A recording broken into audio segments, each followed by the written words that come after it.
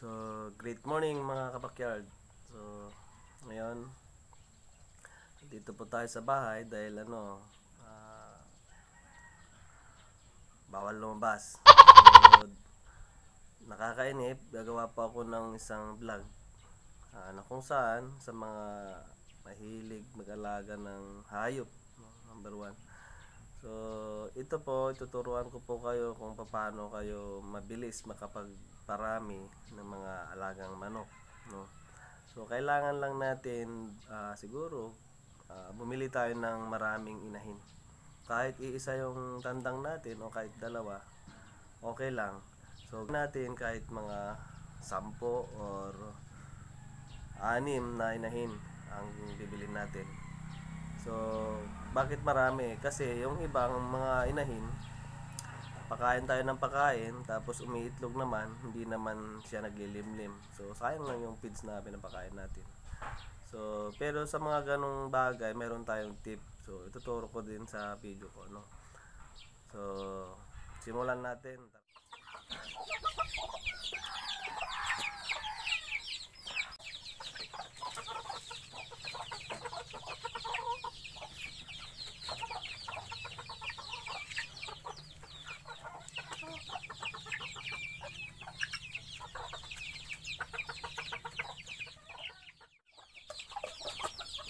So, meron pa akong nabiling ano, ah, puting manok. So, mahilig din kasi ako sa puti kaso hindi ito naglilimlim. Kaya binili ko pa rin, no.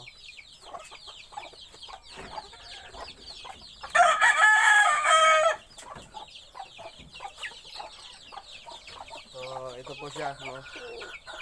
Hindi po siya naglilimlim. Ang nagustuhan ko lang po dito sa manok na to, meron po siyang tahig. No? Unahin, may tahig. So, gusto ko magkaroon din ng puting manok kaya binili ko siya. So, paano natin siya ah, makukuhanan ng sisiw, ano? Kahit nagliliman. So, simple lang pa, no? So, gagawin natin, kulong lang natin, tali. ah ikulong pakainin. No?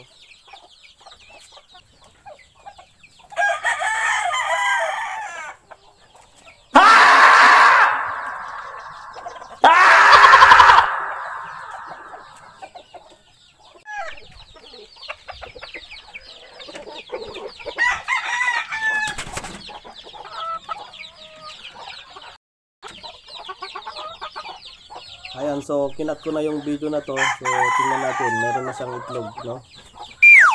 Ayan, meron na siyang itlog.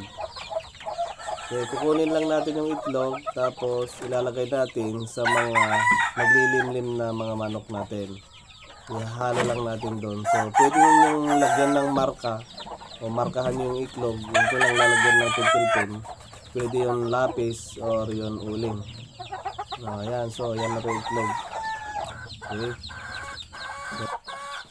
Yan, so dadalhin lang natin yung itlog sa naglilimlim natin yung mga inahin. So dito, ah, meron na tong itlog kahapon na dalawa eh. Ewan ko lang, baka nadagdagan na. Tignan natin. So, ayan, so meron na siyang itlog na tatlo. So yan, pwede pa natin ihalo dyan dahil hindi pa siya naglilimlim at kasi simula pa lang niya mangitlog. Kaya nga mag-aalaga tayo ng maraming manok para maraming mga itlog at monitor natin kung sino yung mga naglilimlim. Okay. Ganyan lang mga kabakyard. Simple lang.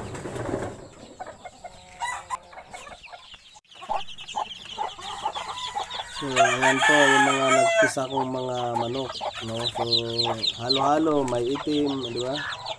Di? May mga puti, may pula. So, halo-halo po yan. Kasi yung mga itlog, halo-halo din. So, yan, meron po tayong marking na dapat gawin natin para alam natin kung anong mga lahi yung mga inaalagaan po natin. So, almost 4 months pa lang po ako nag-aalaga, nasa 5, 6 na buwan. No? So, meron na po akong 60, no? 60 na sisiw. Ayan. So, yan po yung nagbigay sa akin ng unang mga papisa. ayan po, meron din na po yung nauna. Malalaki na po sila. Ayan. Ayan, ganun lang mga boss, no? So, ikulong lang ninyo yung mga inay ninyo, tapos ipakasta nyo araw-araw, kahit huwag nyo nang pakawalan. Diba? Kung naglilimlim naman siya, di pwede nyo pong ikulong sa mayroong pugad, no?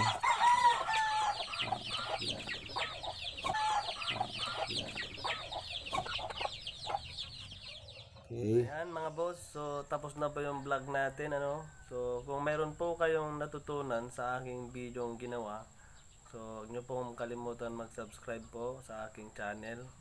So at nagpapasalamat po ako sa mga nag-like, nag-share ah, sa video na to kahit wala pa, no? So, maraming maraming salamat po at pwede rin po kayong mag-comment sa ilalim para po pwede kong sagutin kung ano po yung mga gusto nyong malaman pa, no? Tungkol sa pag-aalaga ng manok, kanabong or yung mga pampa